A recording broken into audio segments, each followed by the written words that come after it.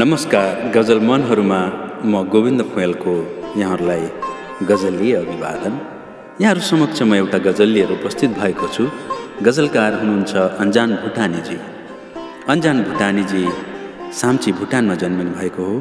हाल ओहायो राज्य अमेरिकामा हुनुहुन्छ। कपिल मुनि आचार्य पिता हुनुहुन्छ भने चन्द्रमाय आचार्य उहाँकी माता हुनुहुन्छ।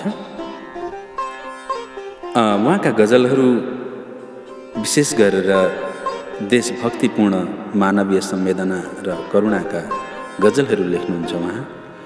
उहाँका गजलमा देश छाडेर टाढा बस्नुका पीडाहरूलाई जीवन्त रूपमा प्रस्तुत गर्नु उहाँको विशेषता हो। आउनुहोस् यही विशेषतामा लेख्नुभएको एउटा गजल यहाँहरू समक्ष प्रस्तुत छ। मातृभूमि सम्झी स्वदेश फर्किएर रोएँ। मातृभूमि सम्झी स्वदेश फर्किएर रोएँ। परदेशभरि मनका पीडा चर्किएर रोएँ मातृभूमि सम्झी स्वदेश फर्किएर रोएँ। हिजोसम्म मित्र भनी अङ्कमाल गर्नेहरू हिजोसम्म मित्र भनी अङ्कमाल गर्नेहरू साथी भनी भेट्न जाँदा झर्किएर रोएँ परदेशभरि मनका पीडा चर्किएर रोएँ। पराई त पराई भए आफन्त नै पराई भए।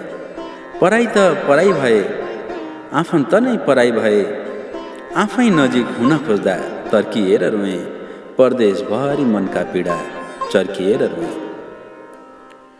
भिड बिच एक्लै हुन्छु।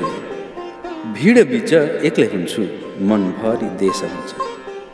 भिड बिच एक्लै हुन्छु मनभरि देश हुन्छ। जीवन बाँच्ने सारा आधार मर्किएर रोएँ भिड बिच एक्लै हुन्छु मनभरि देश हुन्छ। जीवन बाँच्ने सारा आधार मर्किएर रोएँ। मातृभूमि सम्झी स्वदेश फर्किएर रोएँ। परदेशभरि मनका पीडा चर्किएर रोएँ। मातृभूमि सम्झी स्वदेश फर्किएर रोएँ। हस् त हजुरको समय शुभ बनोस्। शुभ समय।